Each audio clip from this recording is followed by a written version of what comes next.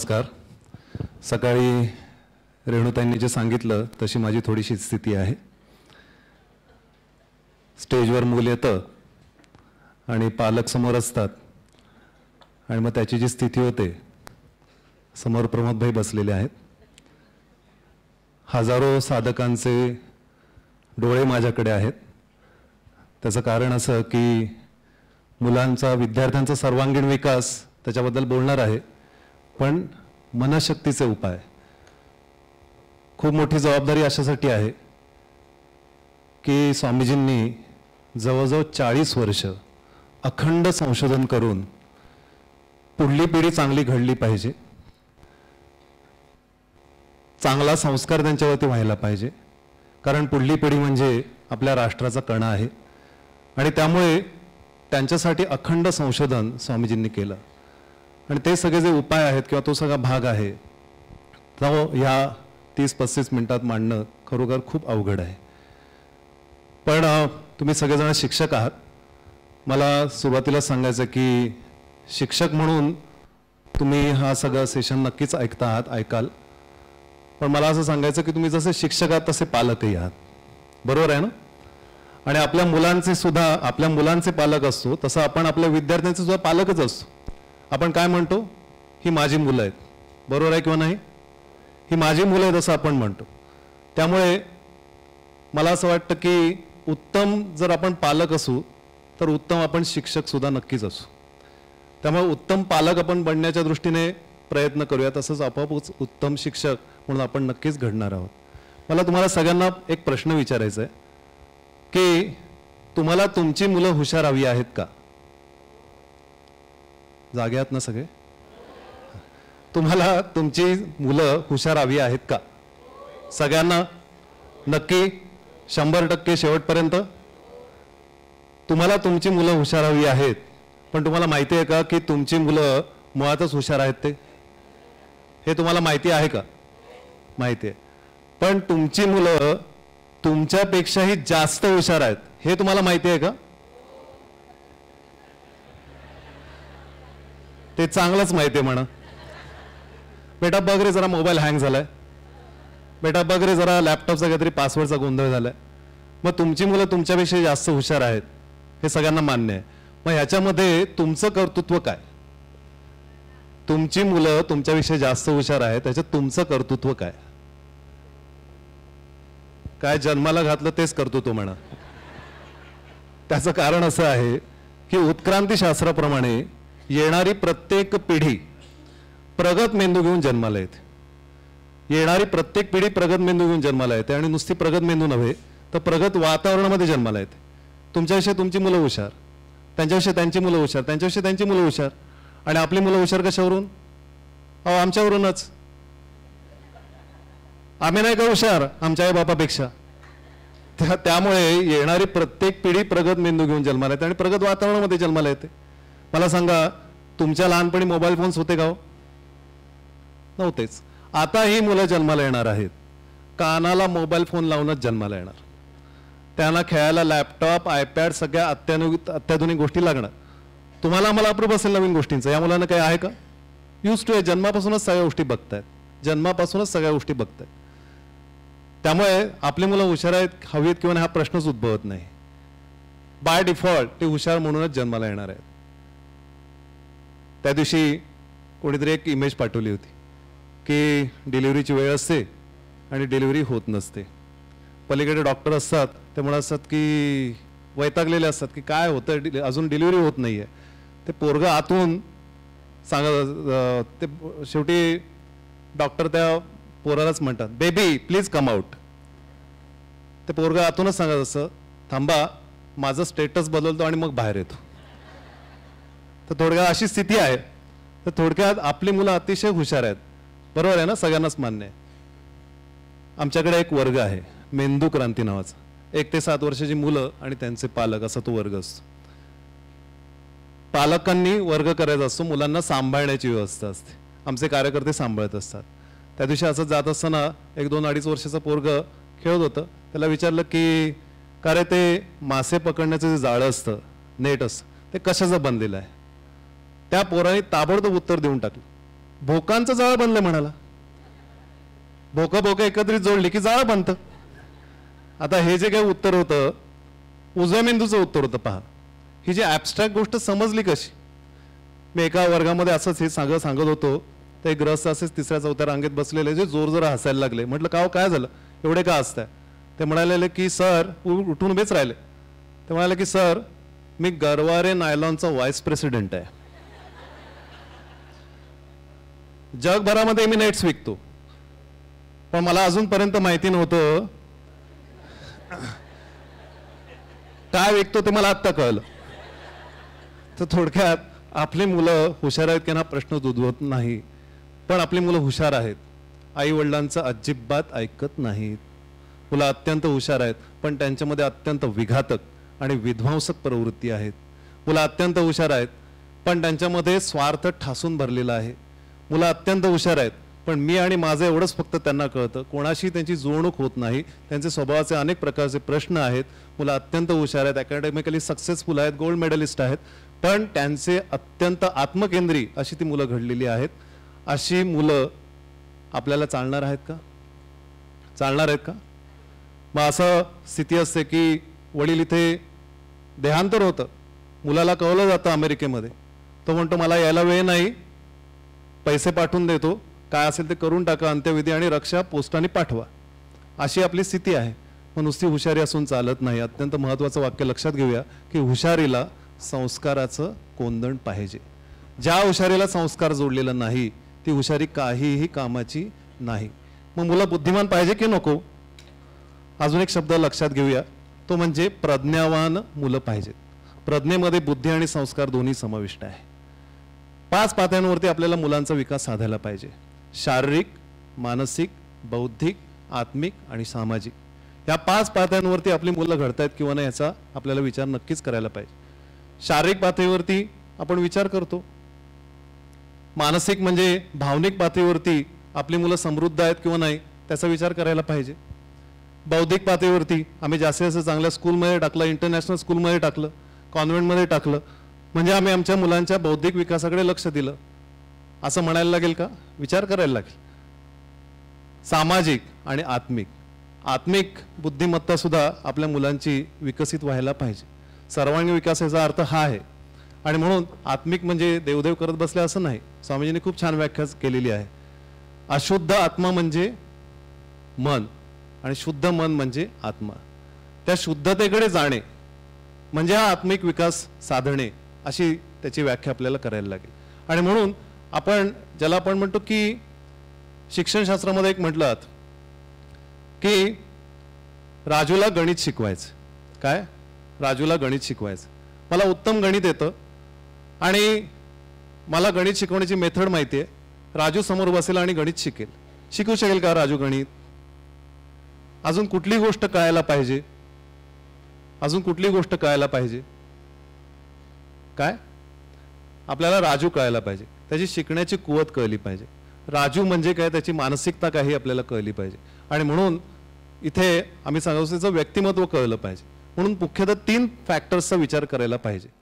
मन बुद्धी आणि शरीर हा त्रिकोण लक्षात घेऊया. आणि ह्या तिघांमध्ये जर समृद्धता असेल तर मन बुद्धी आणि शरीर तिघांमध्ये जर समतोल असेल तर आपली मुलं समतोल आहेत. मुलं घडणे आणि बिघडणे हा त्रिकोण जर बिघडला तर मुलं बिघडलेली आहेत. हा त्रिकोण जर घडला तर मुलं घडलेली आहेत. म्हणून मनाचा मनाची अभिव्यक्ती कशाच्या माध्यम? मन तर दिसत नाही. मन दिसत नाही. दिसतं का? दिसत नाही. मग मनाची अभिव्यक्ती स्वभावाच्या माध्यमातून मग आपल्याला आपल्या मुलांचा म्हणजे आपल्या विद्यार्थ्यांचा आणि मुलांचाही स्वभाव कळायला पाहिजे. मग स्वभावाचे प्रकार किती आहेत? मी खूप धावता आढावा घेणार आहे. की स्वभावाचे प्रकार किती आहेत? व्यक्ती देवड्या प्रकृती. पण मी तुम्हाला सांगेन मुख्यतः चारच स्वभाव प्रकार आहेत. एक म्हणजे भय दुसरं राग तिसरं धैर्य आणि चौथं म्हणजे शांती. मग भयप्रधान मुलांची लक्षणं काय आहेत? ही अनिश्चयी आहेत बुजरी आहेत लज्जावान आहेत भावनाशील आहेत अंतर्मुख आहेत रडकी आहेत न्यूनगंडाने पछाडलेली आहेत वगैरे वगैरे. एक पुस्तकच आहे पुत्र कल्याण शक्ती. या पुस्तकामध्ये ही सगळी लक्षणं सविस्तर दिलेली आहेत. किंवा यश साफल्य नावाचा जो आता आराखडा सांगितला त्याच्यामध्ये त्याची टेस्टच दिलेली आहे. राग प्रधान मुलांची लक्षणं काय आहेत? ही हट्टी आहेत तापट आहेत उधळमार्द करणारी आहेत ढोंगी आहेत. आपली मुलं ढोंगी आहेत किंवा नाही? आहेत किंवा नाही? आहेत. कधीपासून ढोंग करतात? हां? कधीपासून शाळेला लागल्यापासून नव्हे. पाळण्यात असलेलं बाळ सुद्धा ढोंग करत अस. कोण समोर आलं की कसं रडायचं? किती व्हॉल्यूममध्ये रडायचं? तोंड किती वाकडं करायचं? कोणाकडून शिकतात? जाऊ द्या. तर थोडक्यात ढोंगी आहेत. कांगावखोर आहेत. खोडसाळ आहेत व्यसनी आहेत वादप्रिय आहेत शंकेखोर आहेत. सतत शंका येत असतात मुलांना. बरोबर आहे ना? प्रश्न विचारणारे असतात. असाच एक मुलगा सतत प्रश्न विचारणारा शेवटी त्याला म्हटलं तू जर सारखे सारखे प्रश्न विचारायला लागलास तर पुढल्या जन्मी तुझा आकार प्रश्नचिन्हार्क होऊन जाईल? ते ऐकल्यानंतर शांत बसायचं किंवा नाही? त्याने त्याच्यावरती अजून एक प्रश्न विचारला. माझा आकार जर प्रश्नचिन्हार्क झाला तर खालचं टिंब मला चिकटलेलं असेल का वेगळं असेल? तर थोडक्यात अशी स्थिती आहे. द्वेषी आहेत वादप्रिय आहेत चंचल आहेत. किती जणांना असं वाटतं की आपली मुलं चंचल आहेत? जर हातवरती करा. चंचल आहेत हायपर ॲक्टिव्ह आहेत एका ठिकाणी बसतच नाहीत अस्थिर आहेत वळवळी आहेत. बरोबर आहे ना? ADHD attention deficit disorder ही सध्याची खूप मोठी समस्या आहे. इतकी वळवळी मुलं आहेत की त्यांच्याकडे बघून आपल्याला त्रास होतो. अशी स्थिती आहे. तर राग प्रधानतेची लक्षणं आहेत बुद्धिवादी आहेत. एक मुलं ढोंगे आहेत तुम्हाला एक छोटासा व्हिडिओ दाखवतो आणि पुढे जातो. दोन वर्षाचं मूल आहे. रागाच्या भरात अक्षरशः जमिनीवरती लोळण घेतं. त्याची आई त्याचं शूटिंग घेते. ती भिंतीच्या आड येते ताबडतोब ताबडतोब त्याचं रडणं थांबतं. बघा. असते ना घरची स्थिती अशी.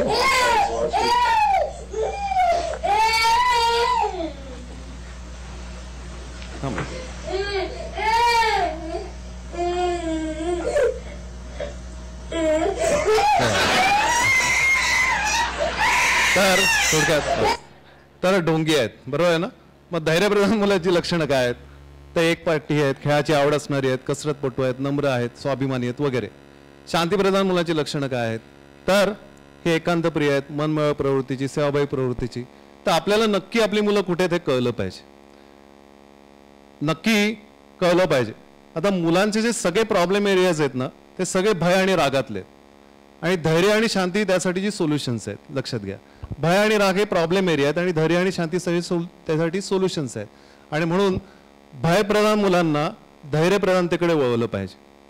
उपाय सांगतोय तत्वाने. भयप्रधान मुलांना धैर्यप्रधानतेकडे वळवलं पाहिजे आणि रागप्रधान मुलांना शांतीप्रधानतेकडे वळवलं पाहिजे. तर हा आपण स्वभावाचा विचार केला. याच्यावरतीच सगळे उपाय आहेत खरं म्हटलं तर. मनशक्तीचे सगळे उपाय आहेत ते साधारण ह्याच थीमवरती पुढे आहेत. आणि म्हणून दुसरा मुद्दा जो आहे तो बुद्धी. बुद्धी कशाच्या माध्यमातून व्यक्त होते? तर बुद्धी कशाच्या माध्यमातून व्यक्त होते? मेंदूच्या माध्यमातून. मग मेंदूची स्थिती काय आहे? तर आपल्या मेंदूचे मुख्यतः दोन भाग आहेत. उजवा मेंदू आणि डावा मेंदू. दोन मेंदू नाही आहेत हां? तर डावा आता लेफ्ट ब्रेन जो आहे ना तो लॉजिकल ब्रेन आहे. Logical thinking sequential thinking analysis synthesis science and maths हे सगळं लेफ्ट ब्रेनशी रिलेटेड आहे. उजव्या मेंदूमध्ये काय art and music creativity holistic thinking intuition ह्या सगळ्या गोष्टी राईट ब्रेनमध्ये आता काय होतं की मेजॉरिटी लोकांचा डावा मेंदू जास्त प्रबळ असतो. जवळजवळ पंच्याण्णव टक्के लोकांचं. आणि पाच टक्के लोकांचा फक्त उजवा मेंदू प्रबळ असतो. त्याचं कारण आहे की आपण अकॅडमिक्समध्ये कुठल्या मेंदूच्या विषयाकडे जास्त फोकस देतो पहा? डास मेंदूच्या विषयाकडे पहा. विषय कुठले आहेत? गणित विज्ञान. कुठे गेलं? डाव्या मेंदूमध्ये. लँग्वेजेस किती? तीन. डाव्या मेंदूमध्ये. आर्ट्स कॉमर्स सायन्स सगळं डाव्या मेंदूमध्ये. उजव्या मेंदूकडे फोकस कुठे आहे? आणि मी तुम्हाला सांगेन की ज्यांचा उजवा मेंदू प्रबळ असतो अशी माणसं जगात मिरॅकल करतात. उदाहरणार्थ लिओनार्दो द हे नाव तुम्हाला माहिती असेल. Walt Disney Albert Einstein J R D Tata अशी काही उदाहरणं घेता येऊ शकतील. तर ज्यांचा उजवा मेंदू प्रबळ आहे पण त्यांना त्यांच्या डावा मेंदूची साथ आहे अशी माणसं जग बदलतात. आणि म्हणून बहुतांश लोकांचा डावा मेंदू जास्त प्रबळ असतो. कारण अकॅडमिक्समध्ये आपण डे लेफ्ट ब्रेनकडेच जास्त लक्ष देतो. पा इंजिनिअरिंग फील्ड घ्या left brain. Commerce arts science left brain. Administrative services left brain. कुठल्याही गोष्टीकडे घ्या. उजव्या मेंदूला वावच नाही. बरं आपण पालक म्हणून सुद्धा डाळ मेंदूच जास्त प्रबळ असतो. त्यामुळे आपण आपल्या मुलांना सुद्धा डाळ मेंदूच बनवतो. बघा का तुम्ही एक सा- साधं सांगा. मुलं समजा एकदम छान चित्र काढत बसले दोन तास रमून गेले हरकून गेले. आता आपण काय म्हणणार आहोत सांगा? चल चित्रबित्र काढत बसू नको मुकड्याने अभ्यासाला बस. अहो तिथे त्याच्या उजव्या मेंदूची प्रगती होती. पण आपण त्यांना धपाटून डाळा मेंदूचं बनवतो. आता काय होतं की त्यामुळे जी खरं म्हटलं तर काही मुलांची उजव्या मेंदूची सहजता असते पण त्यांना सुद्धा आपण डावा मेंदूचं बनवून टाकतो. तुम्हाला माहिती आहे का की जन्माला येताना आपण रायटी किंवा लेफ्टी असतो असं ब्रेनच्या बाबतीत सुद्धा रायटी किंवा लेफ्टी असतो. हे तुम्हाला माहिती आहे का? शोधून काढूया का? एक छोटासा एक्सपेरिमेंट करूया आणि मग पुढे जाऊया. कारण सलग बसलेला. चालेल ना? तर काय करायचं? हात जरा मोकळे ठेवा. छोटासा एक्सपेरिमेंट आहे. आणि आपण हात एकमेकांमध्ये गुंतवायचे. स्वतःचेच गुंतवा. जवळजवळ बसले सगळे. आणि आता काय करायचं की तुमच्या डाव्या अंगठावरती आहे का उजव्या अंगठावरती आहे?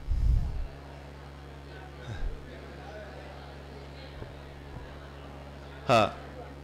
उजव्या हाताचा अंगठावरती असे किती जण आहेत जर त्यांनी हात वरती करा. माय गुडनेस एवढे लोक आहेत. उजव्या हाताचा अंगठावरती आहे. तुम्ही सगळे डावा मेंदूचे आहात. बरं डाव्या हाताचा अंगठावरती असे किती जण आहेत? तरी बरीच संख्या आहे की. त्या मानाने कमी आहे पण तुम्ही उजव्या मेंदूचे असण्याची शक्यता आहे. आज असं नाही कारण आपण काम डाव्या मेंदूचंच करतोय म्हणून. आता एक काम करा.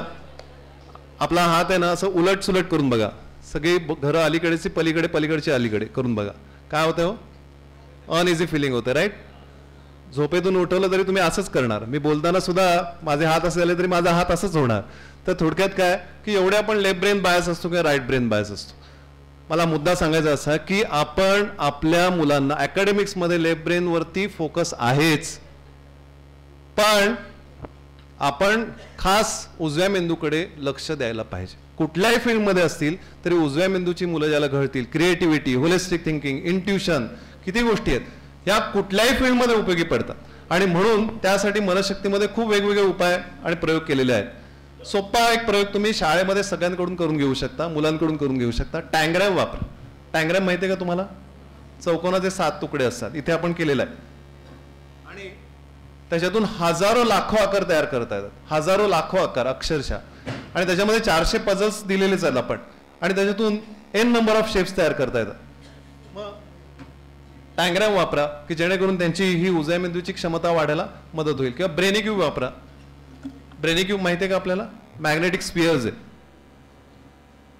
असं तुम्हाला इथे बघायला मिळेल. आणि दोनशे सोळा एकत्रित केले की असा क्यूब तयार होतो. आणि कितीही शेप्स तुम्हाला त्याच्यातून तयार करतात एकदम स्ट्रॉंग मॅग्नेट आहे. कुठूनही तुटतं आणि कुठूनही जोडता येतं. जरा दाखव व्हिडिओ कुठूनही तुटेल आणि कुठूनही जोडता येईल. तर अशी जी स्थिती आहे आणि N D F B neodymium ferrous boron असं ते मॅग्नेट आहे. आणि कितीही shapes n number of shapes दाखव ना तर ते ते तयार होऊ शकतात त्याच्यातून. मुलांची थोडक्यात creativity out of the box thinking किंवा ज्याला आपण म्हणतो की टोटॅलिटीचा आवाका घेणे तर ह्या सगळ्यासाठी किंवा चित्र दाखवणार नाही काय झालं?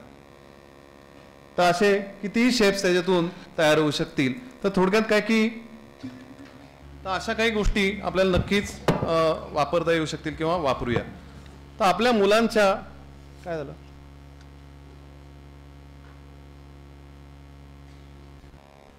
तर थोडक्यात ठीक आहे राहू तुम्हाला कळलं का? कळलेलं आहे. मी पुढे जातो.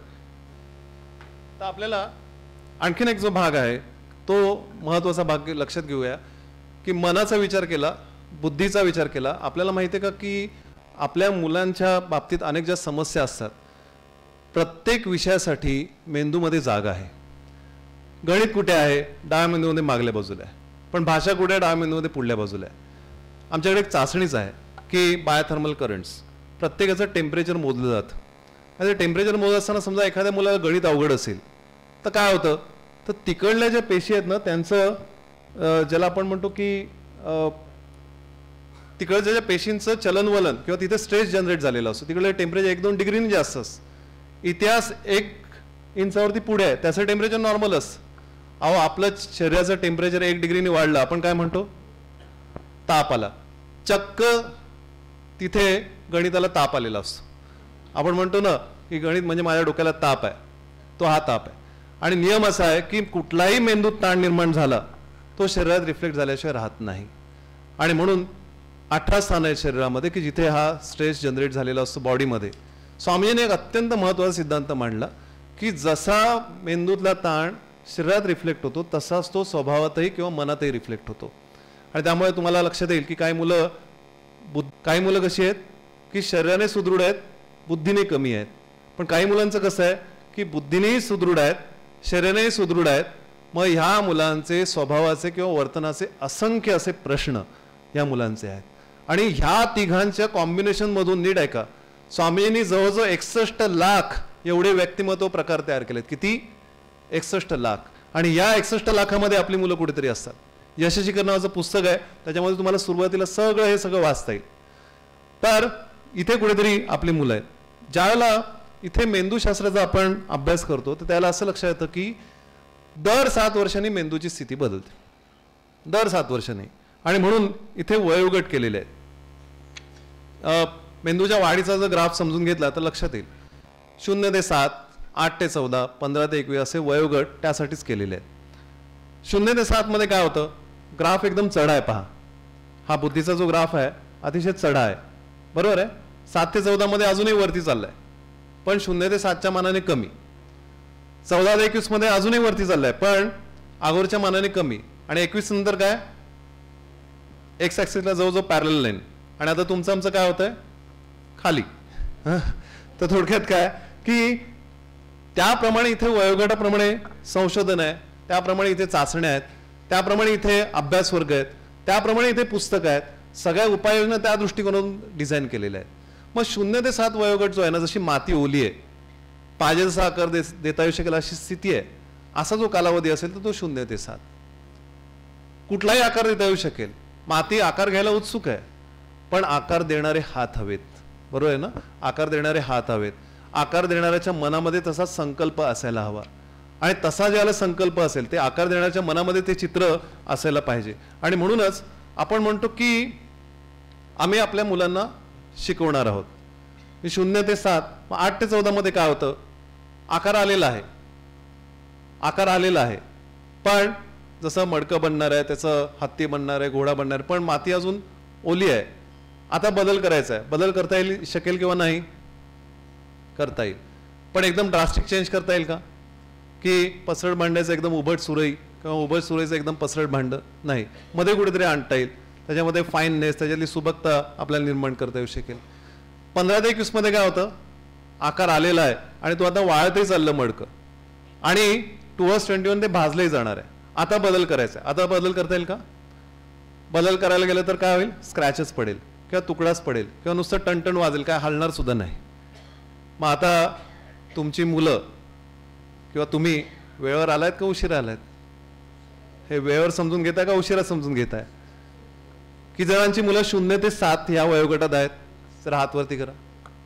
आणि किती जणांची पा शिक्षक म्हणून तुम्ही शून्य ते सात ह्या वयोगटातल्या मुलांना शिकवताय? पहा तुमच्या हातात इतक्या गोष्टी आहेत. जसं आपण म्हणतो ना की माती ओली आहे पायाचा आकार देतो अशी स्थिती आहे. तर हा जो कालावधी आहे की हा शून्य ते सातचा कालावधी आहे. आपण मुलांना शिकवू शकतो. आपण म्हणतो आम्ही मुलांना शिकू खरोखर मुलं शिकू शकतात का? स्वामींनी खूप छान सांगितलं की आपण शिकवायला फक्त सहाय्यभूत होऊ शकतो मुलं शिकत असतात. आई हा शब्द उच्चारायला आपण मुलांना शिकवला का? चमचा जहाज शहाळ आई उच्चारताना तोंड विशिष्ट पद्धतीने करायला लागतं. च उच्चारताना जीप टाळायला लावायला लागते. ज उच्चारताना जीप मागे घ्यावी लागते. आज जाऊन शिकवलं का की इथे चिटकव तिथे चिटकव? मुलं शिकली लक्षात घ्या. ती वातावरणातून किंवा त्यांच्यासमोर जे काय निरीक्षणातून मुलं शिकली. आणि ज्याला आपण म्हणतो की ही मुलं जी शिकतात जर प्रत्येक गोष्टीचं निरीक्षण बारीक सारीक गोष्टीचं निरीक्षण ही मुलं करत असतात. बरोबर आहे? आता समजा माझं इथे जर रेकॉर्डिंग होत असेल तर मला कसं बोललं पाहिजे? नीटच बोललं पाहिजे. पण जर व्हिडिओ रेकॉर्डिंग होत असेल तर? मी प्रेझेंट करतोय कसं? माझं आतून मी त्याला कन्व्हिन्स आहे किंवा नाही? जे बोल सगळ्या म्हणजे ज्याच्या बारीक सारीक गोष्टी याच्या त्या रेकॉर्ड होणार आहेत. पण हा कॅमेरा ऑब्जेक्टिव्ह रेकॉर्डिंग करणार आहे. सब्जेक्टिव्ह रेकॉर्डिंग करणार नाही आहे बरोबर आहे ना? तो त्याचं मत तयार करणार नाही. पण मुलांच्या मेंदूमध्ये मुलं जे आहेत त्यांच्या आजूबाजूला ज्या गोष्टी घडतात त्याच्यातून त्यांची मतं तयार करतायत. किंवा त्याच्यातून ती मुलं घडतायत किंवा शिकतायत. आणि म्हणून ज्याला आपण म्हणतो की आपण म्हणतो की मुलं शिकत कुठून आलं कबी घेऊन आलाय? कुठूनही शब्द घेऊन आलाय? कदाचित आपल्याचकडून कुठून ना कुठून तरी किंवा आजूबाजूच्या परिवेशातून मुलं हे सगळं शिकत असतात. आपण त्यासाठी इथे शून्य ते सात वयोगटासाठी इथे एक मेंदू क्रांती नावाचा वर्ग असतो. की अतिशय सेन्सिटिव्ह अशा कालावधीमध्ये ह्या मुलांना कसं घडवावं? त्यांच्याकडे कुठल्या दृष्टीने बघावं तर त्याच्याबद्दलचा विचार या याच्यामध्ये केलेला असतो आणि म्हणूनच इथे आपण बघा मुलांना गोष्टी आवडतात बरोबर आहे ना? या मुलांना तर गोष्टी आवडतात. आणि मग आपले पेटंट गोष्ट ठरली आहे की ज्याच्यावरती आपण वाढलो आहे कुठली चिवगावची चिवचं घर असतं. विसरलात वाटतं तुम्ही पण. हां कावचं घर असतं. आणि कावळे तर चिवताई घर. चिवताई चिवताई दार उघड. चिवताई दार उघडते का?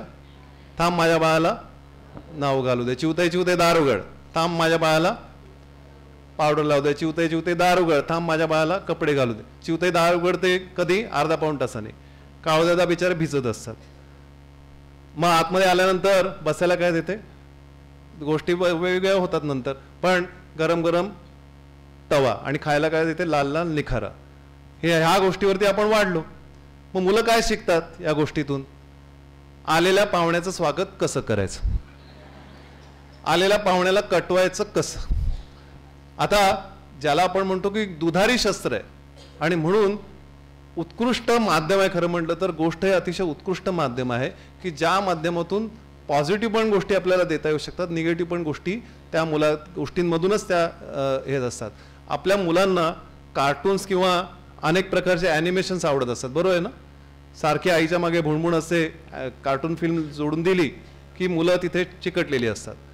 पण तुम्हाला माहिती आहे का की कार्टून्समुळे मुलांमध्ये अनेक प्रकारची हिंसक आणि चिं चंचल प्रवृत्ती वाढत चालली आहे. हे आपल्याला माहिती आहे का?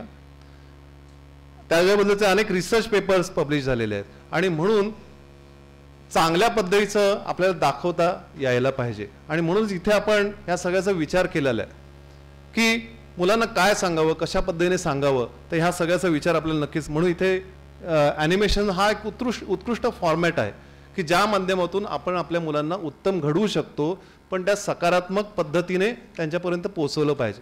म्हणून इथे आम्ही त्यासाठीचा प्रयोग केलेला आहे की गोष्टींची फुलबाग किंवा गोष्टींमधल्या गोष्टी असं ॲनिमेशनचं सिरीजसुद्धा आपण इथे तयार केलेलं आहे. आणि पुढचा जो वयोगट आहे आठ ते चौदा वर्षाची मुलं आणि त्यांचे पालक. खूप वेळेला इथे पालक येत असतात. आमच्या मुलांच्या फार समस्या येतो. ऐकतच नाहीत. उद्धटपणाने बोलतात. विचित्रच वागतात. परीक्षेच्या वेळेला जाऊन विसरतात. अभ्यासाच्या वेळेला त्यांना परीक्षा जवळ आली की पोटात दुखायला लागतं. असे अनेक समस्या पालक घेऊन येत असतात. त्यावेळेस आम्ही इथे एक वर्ग केला बाल समस्या वर्ग. पण या वर्गामध्ये मुलांचा वर्ग मुलं आणि पालक एका वेळेला असतात. बरोबर? बऱ्याच वेळेला पालकांना काय वाटतं? आमच्या मुलांना यांच्याकडे ताब्यात द्यायचं. मुलांना ताब्यात घ्या. संस्कार बिंस्कार काय असेल त्यांच्या डोक्यात टाका. आणि त्यांना संस्कारित म्हणून बाहेर काढा. जणू काय आमच्याकडे एक फॅक्टरी आहे की मुलांना आत टाकायचं आणि बाहेर काढायचं. की येथे मुलं संस्कारित करून मिळतील. आमचा काय परिणाम होत असतो याचा पत्ताच नसतो. या वर्गात एक छान एक्सरसाइज असतो. तीन दिवस पालकांचा वर्ग ह्या कॅम्पसमध्ये मुलांचा वर्ग तिकडल्या कॅम्पसमध्ये तीनशे तीनशे मुलं एका वेळेला असतात आणि तीनशे पालक असतात. आणि त्या वर्गात आम्ही मुलांना ना दुसऱ्या दिवशी छोटे छोटे कागद देतो. आणि त्यांना सांगितलेलं असतं की तुम्हाला तुमच्या आईवडिलांबद्दल काय वाटतं ते लिहा. काही केल्या मुलं लिहून द्यायला तयार होत नाहीत. ते काय म्हणतात? तीन दिवस आम्ही तुमच्यासोबत आहोत. जाताना त्यांच्यासोबतच जायचंय. मग त्यांना खूप विश्व अरे मुलांना लिहा रे. तुमची नावं आम्ही काय डिस्क्लोज करणार नाही. मग खूप विश्वासात घेतल्यानंतर मुलं हळूहळू लिहायला लागतात. मग त्यांची भीड चेपते. मग दणादण लिहितात. मग आहोच विचारतात ओ सर सप्लिमेंट मिळेल का? आणि मग सप्लिमेंट सकट जे काय लिहिलेलं असतं ते पालकांच्या वर्गात यायचं आणि पालकांना वाचून दाखवायचं. असा प्रोग्राम असतो. पालकांना फार उत्सुकता असते की आपल्या पोराने आपल्याबद्दल काय लिहिलंय. आम्ही विचारतो काय नाव बी वाचायची का? हो हो वाचा. आम्हाला कळलंच पाहिजे. आमच्या पोरांनी आमच्याबद्दल काय लिहिलंय. आम्ही सांगतो आम्ही नाव बी काय वाचणार नाही कारण मुलांना तसं वचन दिलंय. पण काय काळजी करू नका. एकदा वाचायला सुरुवात झाली की हा आपलाच बाब्या आहे ही आपलीच बाबी आहे. हे ज्याचं त्याला रोख ठोक बरोबर कळतं. आणि मुलं इतकी भयानक लिहित असतात ना माझ्या आईचं आणि बाबांचं पटत नाही. माझे वडील माझ्या आईला मारत असतात. मला प्रश्नच पडतो. इकडनं सगळे छान सोजव चेहरे दिसत असतात पण माझे वडील माझ्या आईला मारत असतात. माझी आई वाटेल तशा अर्वाच्या शिव्या देते. शिक्षिका असली तरी कशानेही मारते? झाडूनी चपलेनी काठीनी पट्टीनी पट्ट्यानी. मुलाला बरं का? नाही उलटही होत असतं माहिती आहे मला. माझे वडील कामावरून येला- येताना सररेषेत घरी कधीच येत नाहीत. त्यांची वाट नेहमी वेडी वाकडीच. वडील यायची वेळ झाली की आम्हाला प्रचंड भीती वाटते. वडील व्यसन करून येतात धिंगाणा घालतात. सोसायटीत तोंड दाखवायला जागा उरलेली नाही. एक ना अनेक प्रकारचे प्रश्न मुलं लिहित असतात. ऐंशी टक्के मुलं काय लिहितात माहिती आहे? माझ्या आईचं आणि बाबांचं पटत नाही. ऐंशी टक्के मुलं हे लिहित असतात. हल्ली हल्ली तर मुलं असं पण लिहितात की आमच्याकडे बघायला वेळ नाही. पण टन वाजलं की टन कन उडी मारून पहिल्यांदा व्हॉट्सअप काय आहे ते बघतात. तर असं पण सध्या मुलं लिहायला लागली आहेत. तर एक ना अनेक प्रकारचे प्रश्न मुलं लिहित असतात. आणि म्हणून ही मुलं जी आहेत ना आठ ते चौदा वर्षाची मुलं अतिशय सेन्सिटिव्ह आहेत. वाढणारी ज्याला आपण म्हणतो ही पिढी आहे यांच्या समस्या खूप मोठ्या प्रमाणावरती आहेत. तुम्हाला सांगेन ह्याचा अभ्यास निश्चित करायला पाहिजे. स्वामीजींनी एक पुस्तकच लिहिलं आहे save your child from yourself मी तुम्हाला सगळ्यांना सांगेन खूप धावतं मी बोलतो आहे इतकं सगळं मांडायचं फार अवघड स्थिती माझीही होते तुम्हालाही कळतं आहे पण तुम्हाला सांगेन की हा सलग आपल्याला अभ्यास करायला लागेल. खाली एक संच आहे. मी दोन संच तुम्हाला रेकमेंड करेन. तो म्हणजे बाल समस्या संच नावाचा एक संच आहे. त्याच्यामध्ये हे save your child from yourself हे पुस्तक आहे. त्याचा अभ्यास करा नक्की नोट्स काढा. आणि दुसरा एक संच आहे शारीरिक मानसिक विकास आराखडा संच. की ज्याच्या माध्यमातून आपल्या मुलांचा एक टोटल आराखडा आपल्या मुलांना कसं घडवायचं हे खूप छान चांगल्या पद्धतीने आपल्याला निश्चितपणे कळेल. आणि म्हणून ह्या मुलांच्या ज्या अनेक समस्या आहेत की जसं अभ्यासाच्या समस्या आहेत एकाग्रतेच्या समस्या आहेत मुलांची एकाग्रता होत नाही हायपर ॲक्टिव्हिटी ही सध्याची समस्या आहे. चंचलता ही खूप मोठी समस्या आहे. मग त्याच्यासाठी अनेक उपाय निश्चितपणे इथे केलेले आहेत. आणि म्हणूनच जसं आपण म्हणतो की एकाग्रता का होत नाही तर इथे तुम्हाला दोन उपाय निश्चित मला आत्ता सांगायचे आहेत. एक सोपा उपाय केलेला आहे. तुम्हाला लगेच वापरता येऊ शकेल. एक पिरो ब्रेन कॉन्सन्ट्रेशन मेथड अशी एक मेथड आहे. म्हणजे पिरॅमिड आहे.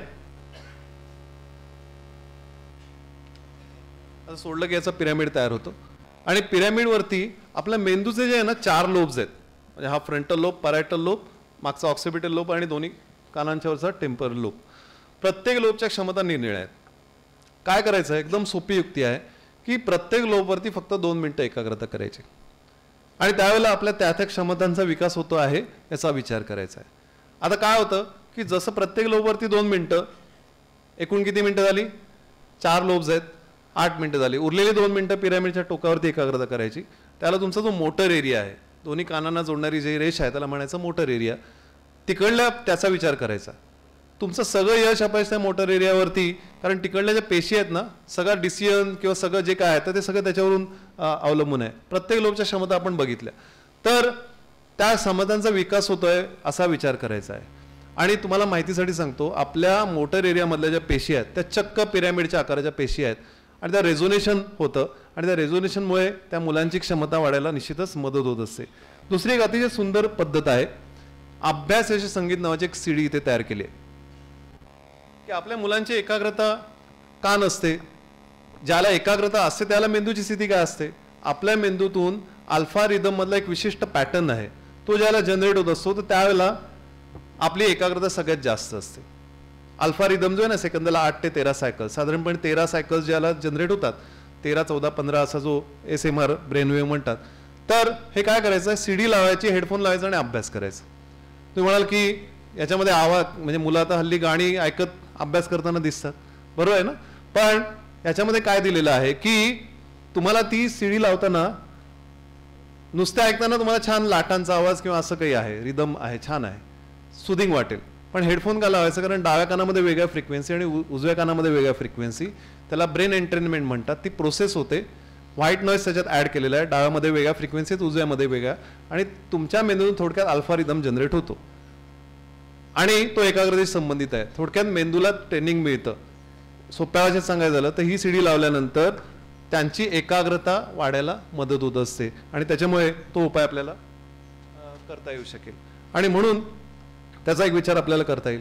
आम्ही इथे अभ्यास करत असताना स्वामींनी इतका सखोल अभ्यास केलेला आहे. एक सुंदर पुस्तक लिहिलं आहे यश शिखर.